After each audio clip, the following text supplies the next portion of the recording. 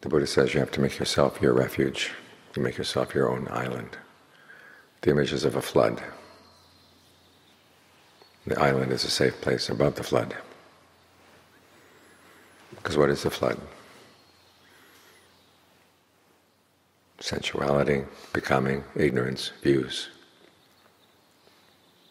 These things carry the mind away. We look around us, we see people willing to kill for sensuality, willing to kill for their views. Once you establish a state of becoming, you've got to lay out your territory.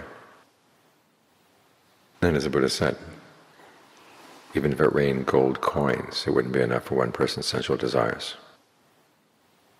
We had two mountains made out of gold, it wouldn't be enough for people. So you would think there's enough room on earth for everybody. But then when you think about two, everybody would have to have at least two mountains of gold. There's not enough. So you've got to get away from sensuality. That's the big issue right now. And of course, that means you have to get away from becoming.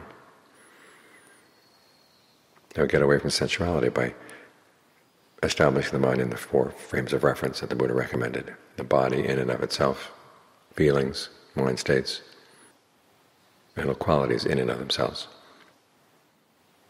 Try to look at things in your experience in these terms. And you can cut through a lot of that flood of becoming. You can get up above the flood. So stay right here with the breath. As for who's watching the breath, that doesn't matter. As for the world we're in, where we're watching the breath, that doesn't matter either. There's just the fact of the breath. And then there's the fact of the mind states that would pull you away from the breath. Again, look at them just as mind states. Don't make them an ex excuse to come down on yourself as a bad meditator. Just get you out of the way. Because the you is a lot of the problem. Then we get it out of the way by convincing ourselves that yes, we're capable of doing this, and we're going to benefit. That's enough you for the time being. Everything else is just breath in and of itself. Distractions in and of themselves, simply as events. That way you're safe. You're not going to get washed away by the flood.